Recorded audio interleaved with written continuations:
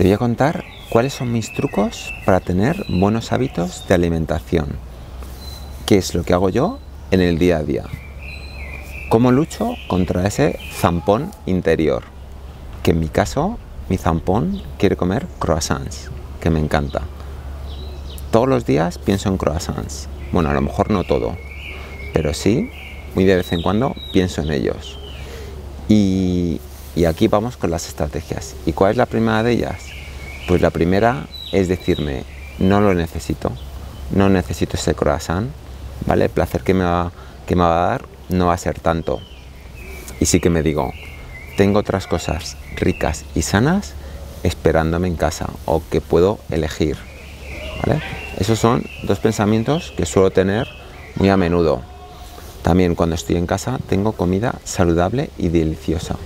Pues fruta, kefir, arándanos, ¿vale? Un porridge de avena, por ahí tenéis una receta súper chula. También para evitar esas tentaciones, esos pensamientos de quiero este antojo, pues paso de largo, ¿vale? Enfoco en otra cosa, enfoco en otra tarea y al, al cabo de pocos segundos, de verdad veréis que ese pensamiento de antojo se va, sobre todo cuando no tienes hambre física, sino que es hambre emocional porque quieres eh, pues liberarte de ese estrés que tienes o de esa angustia o esa soledad o esa lo que sea, ¿vale? Pero si te enfocas en otra cosa, hará que ese pensamiento que, que quiere ese antojo desaparezca.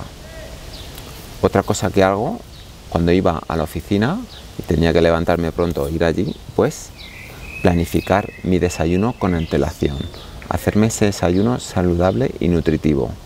Entonces desayunaba bien en casa, de tal manera que luego durante la mañana no tenía esos antojos, esas ganas de lanzarme con, las palmeras de chocolate de bolsa de máquina, ¿vale? Eso de vez en cuando lo hacía, pero por la tarde, cuando ya mi capacidad de decisión estaba muy alterada y al final me lanzaba a veces a por el tercero o cuarto café y por esas palmeras. Pero planificar con antelación el desayuno y comerlo hacía que durante la mañana no sintiera esas necesidades. Otra estrategia es tener reglas fijas. En mi caso, una de mis reglas fijas es en casa no tener alimentos no saludables o que sean un 1% o un 5% como muchísimo. De tal manera que voy a comer saludable el 95% de las veces. Voy a tener alimentos saludables y nutritivos siempre en casa. No voy a tener los antojos o esos croissants ahí mirándome todo el día. Pues ya sabes, si no lo tienes, no lo ves, no lo quieres y si lo quieres, estás poniendo obstáculos, ¿vale? Este es esta, esta estrategia está ligada. Si tú pones obstáculos, pues ya si tienes un croissant, tienes que bajar, vestirte, bajar a la calle, coger el dinero, ir a la tienda y ya pierdes tiempo. Y así te das cuenta que realmente no necesitabas tanto. Otro truco es ser consciente de cómo me sientan los alimentos que como.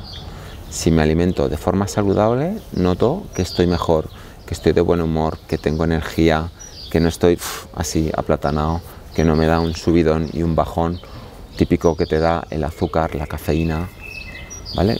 Cuando tú tomas un antojo con muchas grasas, cafeínas, que puede ser ese croissant, lamentablemente ese subidón han demostrado que dura unos 18 minutos y luego ya ese placer es se te va. Mientras que si te alimentas de manera saludable, esa energía y ese bienestar te dura mucho tiempo. También si me alimento de forma que no es saludable generalmente o que puede que sea saludable pero que me sienta mal, pues lo que hago es ser consciente de cómo me sienta esa comida, si luego tengo el estómago pesado, si luego no puedo dormir, si he comido de más y relacionar ese cómo me siento después con lo que he hecho, ¿vale? Y así me hace que la próxima vez, pues cuando quiera pasarme o con las cervezas o con la comida, me recuerde que luego voy a estar varias horas muy pesado o al día siguiente voy a estar fatal y eso me hace que tome mejores decisiones con antelación.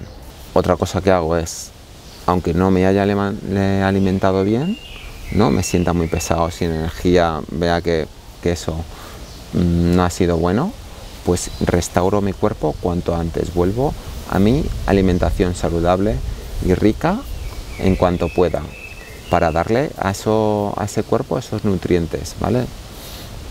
Pues estos son parte de mis trucos, espero que te hayan gustado. ponme abajo en los comentarios si aplicas alguno o si los vas a aplicar y cómo efectivos son en tu caso. Tienes que buscar tus propias estrategias. Estas son las mías que me funcionan.